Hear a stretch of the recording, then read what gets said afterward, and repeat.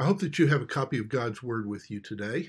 And we're going to be taking a look at Romans chapter 6, verses 1 through um, 11.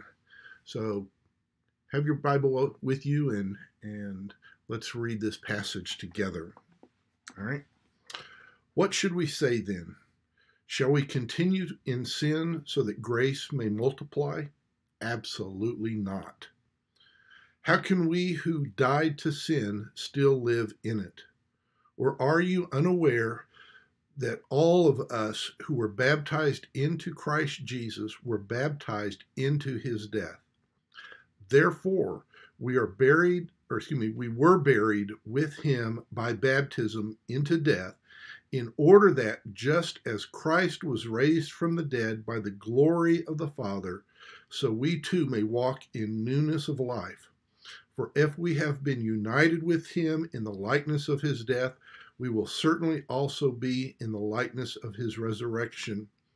For we know that our old self was crucified with him so that the body ruled by sin might be rendered powerless, so that we may no longer be enslaved to sin, since a person who has died is freed from sin. Now, if we died with Christ, we believe that we will also live with him because we know that, that Christ, having been raised from the dead, will not die again. Death no longer rules over him. For the death he died, he died to sin once for all. But the life he lives, he lives to God. So you too consider yourselves dead to sin and alive to God in Christ Jesus. Let's begin with a word of prayer. Father, I ask that you would take this passage of Scripture that we have just read and you would uh, teach it to us, that you would be our teacher this morning, and that you would also change us by your word. Father, thank you for this beautiful message that the Apostle Paul has given us. Help us now to walk in its truth. In Jesus' name we pray. Amen. This really is just a powerful, powerful passage of scripture. And, and it's a change in direction from what Paul's been talking about um, in the preceding three chapters. In 3, 4, and 5, Paul's been talking about justification, how uh, man is incapable of saving himself, and therefore through Jesus Christ, God justifies us. He declares us righteous. Uh, he forgives us of our sins. And um, now we begin to live out our calling. And what does that look like? Well, the problem is a lot of us are still trying to live the old way that we used to live before we came to Christ.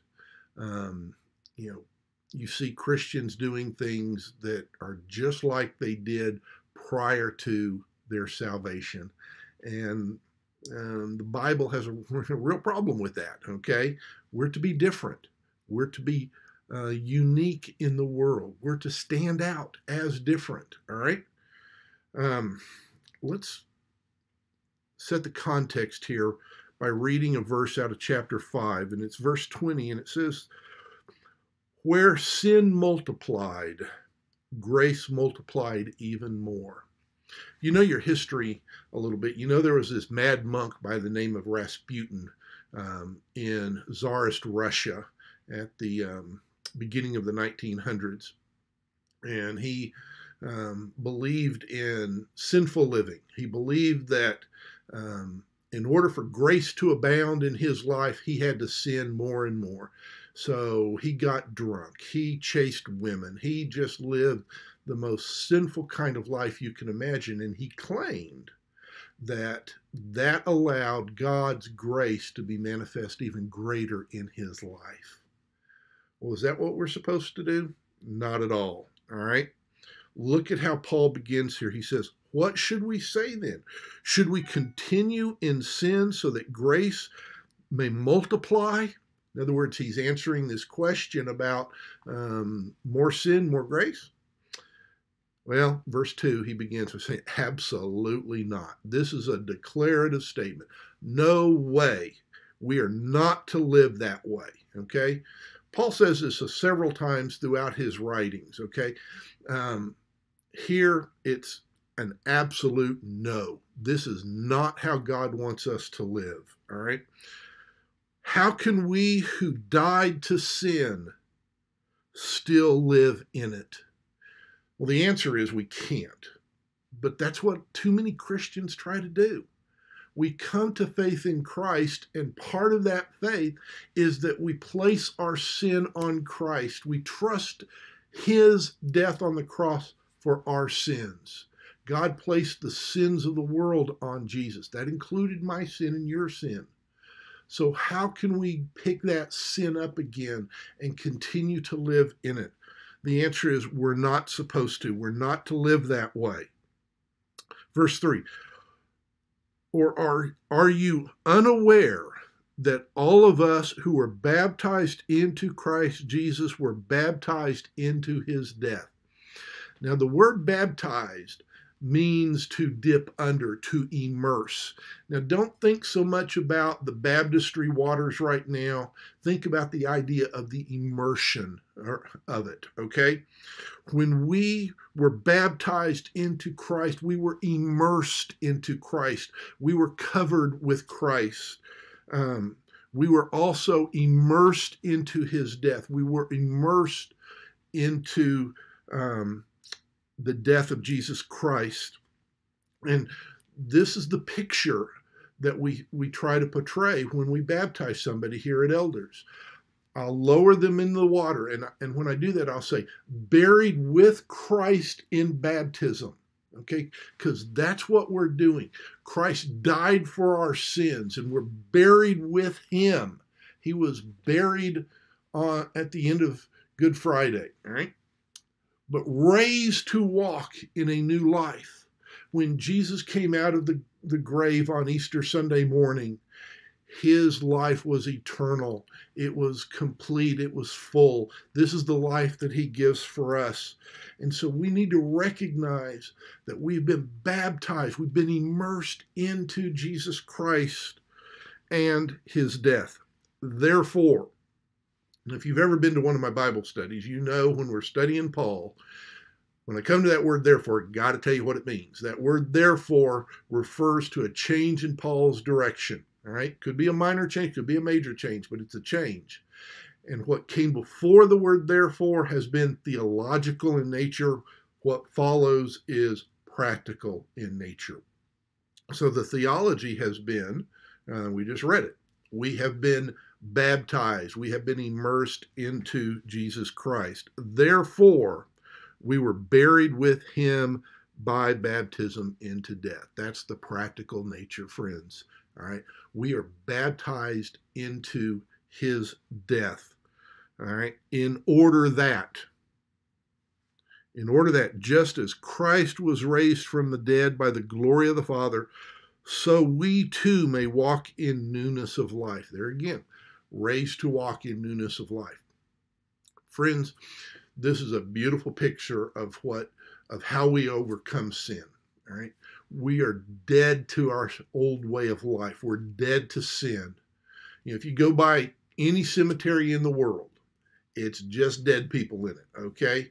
They're lying there in their caskets or in their urns or whatever. They're dead. They cannot sin anymore. All right. That's the way you and I are supposed to be. We're dead to our sin. All right. Um, in order that we can now live for Jesus Christ. We're dead to the old way of life. We're now living according to Jesus Christ, who was raised by the glory of the Father. So, this is how we are to walk. This is the new life that we have in Christ. For if we have been united with him in the likeness of his death, we will certainly also be in the likeness of his resurrection. Now, there's a big word there, and it's that word if. All right. If you have been um, united with him, if, if you're a Christian, then you have been. All right. Just going to church doesn't make you a Christian. But if you have been united with Christ in the likeness of his death, now I'm still living. I'm I'm almost 60 years old. I'm still alive. But when I was 10 years old, I placed my faith in Christ and I trusted in his death for my own. This is the picture Paul's painting here. For you have been united with him in the likeness of his death, we will certainly also be in the likeness of his resurrection. So if we have died with Christ, we also have been raised with Christ. What a glorious picture that is that Christ came out of the grave alive forevermore. We don't need to fear death.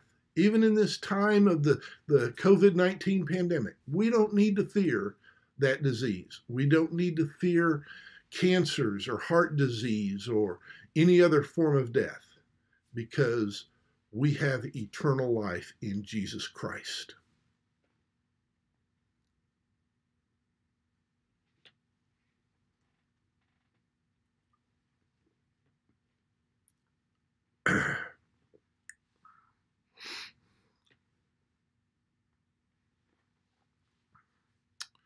In verse 6 it says, For we know that our old self was crucified with him, so that the body ruled by sin might be rendered powerless, so that we may no longer be enslaved to sin.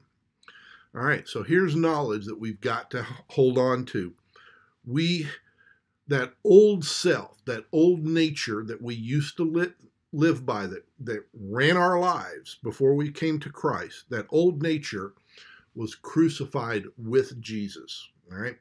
Just as Jesus was nailed to the cross, so we also need to nail that old self uh, to the to our own cross. Okay. Um, we have been crucified with him. Now, what happened when Jesus's wrists and feet were nailed to the cross? He was as good as dead. He had about six more hours of life left, but he was a dead man because those Roman guards were not going to let him come off of that cross. All right. Uh, he was a dead man. That's the picture here, friends. We are to nail that old self to the cross. We're dead to that old self. It's gone. It is no more. All right. So that the body ruled by sin may be rendered powerless. You know, it's our flesh that um, drives us to sin. And I'm not talking about the, the skin covering our body, I'm talking about the sinfulness of man when I say the flesh. That flesh is what um, draws us to sin the lust of the eyes, the, the gluttony of the tongue, uh, tongue um, listening to things we shouldn't listen to, or looking at things we shouldn't look at. These are the things that um, are now rendered powerless when we um, nail the, the old self to the cross. And here again, he says, so that we may no longer be enslaved to sin. Friends, a slave has no choice. The slave must do what the master says. And if your master is your flesh, if your master is um, the lust of the eyes, the, the pride of life, whatever it might be, you're enslaved to it. You can't change it. You're stuck with it. But we have been set free. We are no longer enslaved. All right. Um, where is it? Right. So that the body of, of sin may not be rendered powerless, so that you may no longer be enslaved to sin, since a person who has died is free from sin. Again, go to any cemetery in the world, and you're not going to find a single sinner in that cemetery, at least not underground. All right. There's sinners walking around looking at the tombstones of their loved ones, but all the dead people, they have been set free from sin. Why? Because you got to be alive in order to sin. Okay. Now, here's again the beautiful picture of Christianity. God has made us alive in Christ, not in us. We are alive in Christ. The old nature, that old self, we are to keep dead so that we can walk in in Christ. Verse 8. Now, if we died with Christ, again, there's that if. If it's true, then this is also true. If we died with Christ, we believe that we will also live with him. All right. I wasn't at the cross 2,000 years ago, but by faith. I trust that Jesus Christ died for my sins. So I have been um, situationally, if we could say, placed at uh, the cross of, of Calvary. No, I have died with Christ, and therefore I will live with him. All right? Death to the old self, life to Jesus Christ. Because we know that Christ, having been raised from the dead, will not die again. This is the beautiful picture of Jesus and his resurrection. When he walked out of that grave on Easter Sunday morning, he never had to die again. A lot of people misunderstand the idea of Lazarus's resurrection. Well, it really wasn't a, a resurrection per se because he still had to die again. You and I will never die if we are in Christ. Think about that. The physical body, yes, all right? But this flesh, this body is not Jim Edmonson. Um, how do I know that? Well, think about it this way. If I was in a car accident and say my right leg had to be amputated because of the accident, am I any less Jim Edmonson? Not at all. All right. Um, I knew a gentleman in South Carolina that had a had a disease that literally was eating his body up, and he lost his feet, he lost his his legs, his hands, his arms, and what that eventually did was it took his body, but it did not take his personhood. He still was the individual we all knew and loved. Okay? We are not the body. We have a body. We are spirit and soul with a body, not the other way around. Okay? Um, because we know that Christ, having been raised from the dead, we will not die again. Death no longer rules over him now, I know one day I'm going to breathe my last. I know one day I'm going to close my eyes for the last time, but I will then open them up in heaven. When I stop breathing here, I'll start breathing there. And because who I am is not going to end. All right? For the death he died, he died to sin once for all time. The life he lives, he lives to God. I don't want to, I don't like being disparaging of other Christians. And I got a problem with uh, the crucifixes that uh, picture Jesus still on the cross. He's not still on the cross. He died one time, done. You know, in, in Ju- ancient Judaism, uh, the Jew had to go to the tabernacle, later the temple, to make his his sacrifice to God, and he had to repeat that year in and year out because it was not a a complete, a permanent sacrifice. But in Jesus Christ, we have that, that permanence. He died one time, once for sin, for all time. And the life he now lives, he lives to God. That's what you and I have to do. We have to dedicate the life that we have now to the glory of God, living the way he wants us to live. So you too consider yourselves dead to sin and alive to God in Christ Jesus.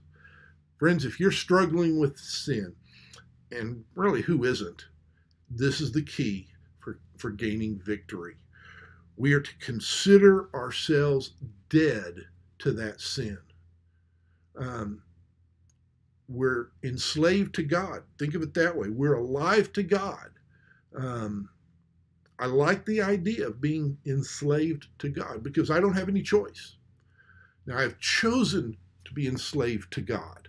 All right? Think about this. If I choose sin, I'm enslaved to that sin. But if I choose God, I'm enslaved to God. And the slave doesn't have any control. The slave just does what his master demands. And what a beautiful picture we have here of God. God always wants what's best for us. He always wants to bless. He always wants us to walk in obedience because He knows that's right and good for us. And we don't have to make Christianity hard. We just do what God says. Read the Word of God, study the Word of God, memorize as much of it as you can, but do what it says. Don't make it difficult. When you come across a passage that says thou shalt or thou shalt not. We don't need to form a, a committee at church to study it and vote on it. We just do what it says. And that's the beautiful picture that we have of our victory that in Christ Jesus. We are dead to sin, but alive to God. Thank you for listening.